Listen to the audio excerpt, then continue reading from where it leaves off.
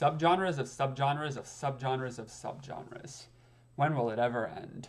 Some people like being able to describe music in more highly specific terms and find the more labels, the easier it is to find music that meets their preferences. Other people kind of find it confusing or nitpicky and they just wish people would just knock it off with the additional subgenres. For the second group of people, I have bad news. In this video, I am going to make up some new possible subgenre labels.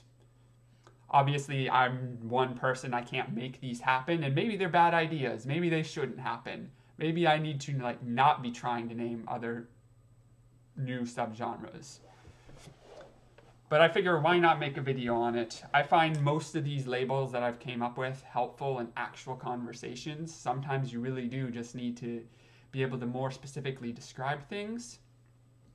So I figured why not share them, let the audience, people watching this video decide whether they like them, they dislike them, whether they feel like it's just a name that's dumb. Maybe it needs a name change. So if you're watching this video and you like an idea, dislike it, feel like it needs tweaking, please leave a comment. I like having feedback on my videos, not just to see how I'm doing, but because I'm really interested in what other people have to say about this. So to get started, I'm going to start with the first sub-sub genre on the list, which is kind of the one that inspired this whole concept for a video, and it's called Deatherial.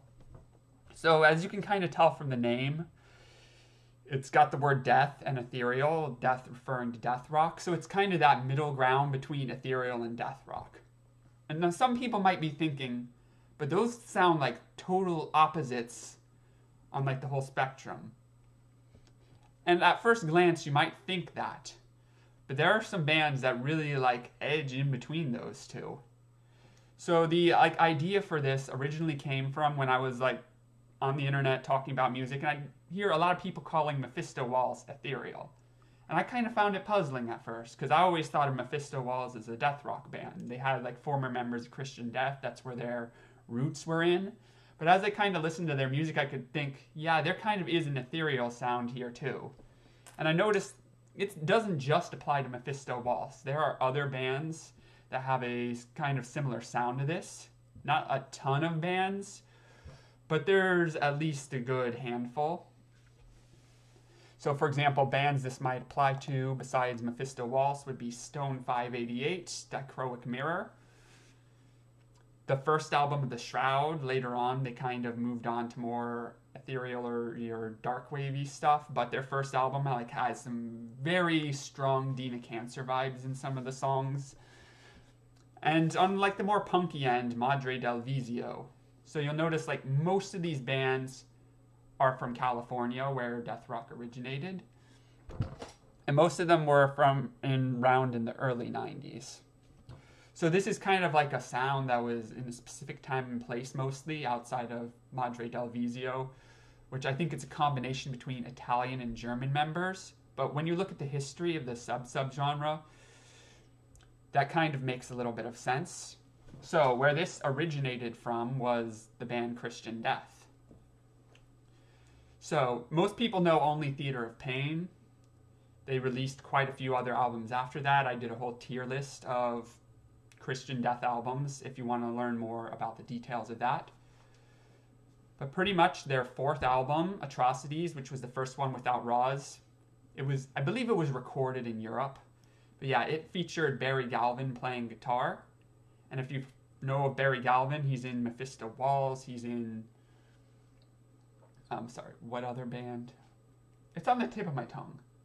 Scarlet's Remains, yes, sorry he kind of has his distinctive guitar style. It's kind of distorted and a little bit punky, but it's also like very highly affected and atmospheric at the same time. So it's a very distinct guitar style that kind of like edges between, it's like in that middle ground between ethereal and death rock. So we kind of like pioneered that sound on Christian Death's Atrocities album. So when he left Christian Death, they didn't sound the same afterwards. They kind of moved on in other directions. But he took his sound with him to his band Mephisto Walz. So, like the early years of Mephisto Walz, it was a male fronted band. throughout most of the 80s. Most of the stuff that was in the 80s was not actually released originally then. It's like on like modern compilations of old stuff. But during the early 90s, he got a new singer, Christianna. And although for ethereal music you don't have to have female vocals, like there can definitely be male vocals in ethereal music. I feel like when Christianna kind of like joined the band, that's where people started thinking, hmm, this kind of sounds more like ethereal, and they started grouping it in more with that. And obviously, there's like bands with, again, bands with similar sound. Stone 588 and Dichroic Mirror kind of have a similar sound. I think either one or both members of Dichroic Mirror were in Stone 588 for that matter. And again, the Shroud, I think they're from California as well, so they're like product of the same sort of scene all this was like happening in like early 90s California, with the exception again Madre del Vizio, who were in like Italy and Germany, who Christian Death was probably popular there too, and they might have just been influenced a lot by Christian Death's Atrocities album. Okay, so for the next subgenre. So this one I was originally going to call it like mom bands, but I realized that that kind of is only applies to a very specific age group. So like people who are older than me, they're not going to be like mom bands. They're probably going to be like childhood nostalgia bands. Or for people younger than me, they might be a little bit too old to be mom bands. They might be edging on grandma bands. But yeah, these are the kind of bands that you would hear on like a John Wa- not John Waters. What's that guy's name? I'm gonna stop recording here. So the next subgenre I'm to talk about, this kind of represents the more melodic side of 80s goth bands. I was originally to call it mom bands, since it kind of something I'd associate with like moms listening to, but I realized that's kind of not a universal label. So maybe for someone my age, it might be something I might associate with my mom listening to, but for people older than me, it's more like childhood nostalgia. Or for people younger than me, it's kind of pushing grandma music. But then I kind of realized a much better label. So like one of my dis- things I would use to like describe these bands, it's like it's the kind of stuff you'd hear in a John Hughes movie, or you might see in like the poster of like Ferris Bueller's Room or something. So if you don't know who John Hughes is, he's like pretty successful, I think like writer, producer, director, something like that you kind of like worked on some well-known movies like some of the National Lampoon movies, Home Alone. More importantly, like what's kind of known now as like the Brat Pack movies, like Sixteen Candles, St. Elmo's Fire, Pretty in Pink, all that kind of stuff, and Ferris Bueller's Day Off, which is the one I'm more familiar with.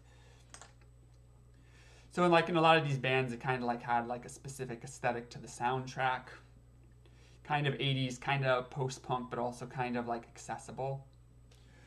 So a lot of these bands that would fall in this category, they were actually in John Hughes movies. So Flesh for Lulu, March Violets, Gene Loves Jezebel were all in John Hughes films. Flesh for Lulu and Gene Loves Je- and March Violets were in Some Kind of Wonderful specifically. And there's some other bands that were in John Hughes movies as well, like Lords of the New Church and Killing Joke were in Weird Science. I don't really feel like they count for the most part both of those bands I think had more melodic material as well. But I kind of associate them more with like the artier side of post punk or the more aggressive side. But yeah, so like examples of some of these bands, whether they're in John Hughes movies or not, would include like Balaam and the Angel, Gene Loves Jezebel, The Bolshoi, Flesh for Lulu, Rose of Avalanche. They, a lot of them kind of like have like a more like mainstream friendly sound. They're a little bit more straight up rock. They're a little bit more pop friendly.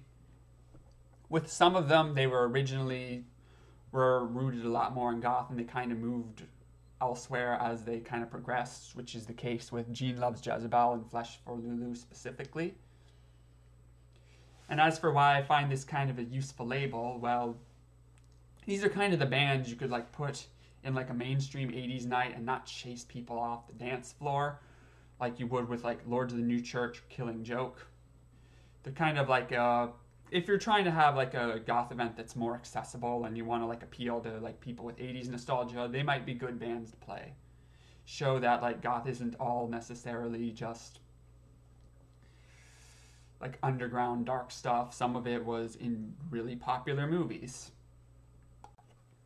Okay, so the last subgenre I'm going to talk about is ankhwave.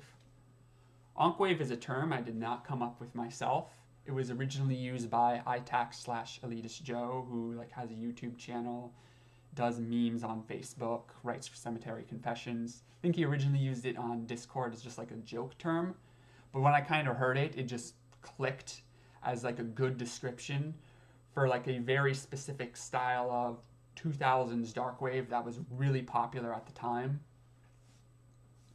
So the name Ankhwave kind of comes from a lot of these bands sort of like had like ankhs on their album covers, like Cruxshadows' Mystery of the Whisper, or you might like see like desert vibes in the music video, or sort of ancient Egypt, Mesopotamia, Persia themes. And like just like ankhs used to be kind of popular but aren't anymore, these bands are kind of like the same way. I feel like they're kind of more popular back when ankhs were more popular in the scene. So some example bands would include Cruxshadows, Last Dance, Ego Likeness, etc. I feel like the real progenitor of this though was London After Midnight. I kind of talked about it them in my 10 bands that represented the 90s, but London After Midnight kind of pioneered a new style that was sort of more heavy on the distorted lead guitars and more like electronic music types of synths or realistic instrument sounds rather than the more like 80s sounding synths of previous bands. So I'm not sure if most of these bands would necessarily cite London After Midnight as a big influence, but I can kind of hear it in their sound. One thing I'm not sure of is whether I should kind of include Switchblade Symphony and bands influenced by them into this as well. Because although Switchblade Symphony has like some elements of this sound, they aren't quite as driven by guitar leads. They're more like of a distorted rhythm guitar in their sound. So like compared to like goth bands from the 80s, modern listeners might think this is like really far removed from this. It's the kind of thing that's probably happened more out of evolution rather than direct inspiration. So a lot of these people were part of the scene. They like liked a lot of goth bands, but they also liked a lot of other stuff as well.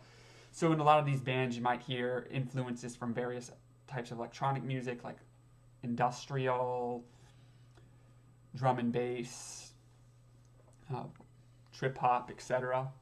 That you'll kind of like see interspersed with like a goth rock guitar sound. As for why I find this label kind of helpful, well, part of it's kind of like a joke. This is not like a knock against any of these bands. Some of them are pretty good bands. It's more of just kind of like describe a sound that's like I really associate with like a specific time period, the 2000s, that kind of just don't really hear anymore. I mean, a lot of these bands are still around, but you don't hear new bands forming in this style it's very much product of its time and I, I feel like it's kind of like a sort of in joke like if you were around then you'd kind of like know what i'm talking about a little bit. If you weren't you might be kind of confused. But if you are kind of confused about what i'm talking about look up some of these bands and listen to it. And you can tell me whether you think i'm like on to something kind of describing it as its almost own sort of sub style so i'd love to hear viewer thoughts on this video as well. Do you feel like some of these subgenres are accurate or helpful to use, or do you feel like I've mostly just been spouting nonsense this whole time? Are there any like labels you think would be better words to use for some of these than the ones I came up with? I'd love to hear that as well. Feel free to share your thoughts in the comments. I always enjoy being able to read them. And just for any bands that may be watching this who have been named in this video, I want to emphasize this is not like meant to make fun of or knock against any of these bands. Most of the bands I've mentioned in here are bands that I like. And like there's no bands I hate in here that I'm like making fun of either. So if you enjoyed this video, be sure to like like and subscribe for more content because I'm planning on making more videos, both videos like this and probably other ideas as well. And now I also have like some social media accounts for people to follow if they're interested. I have a Facebook like page and an Instagram account, both also Lustration Lynx that you can follow for updates on the channel or for like other stuff I might choose to post on there. So that's all I have for this video, but I will see people in the next one because I'm definitely planning on making another one. So bye everyone.